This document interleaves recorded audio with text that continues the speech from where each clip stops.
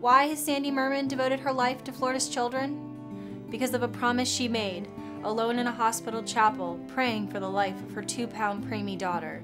Sandy promised to make her life's work the welfare of children, if only her baby could live and thrive. And she kept her word.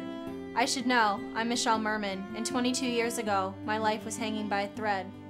Since that night, my mom has worked tirelessly for children and kept the most important promise of her life.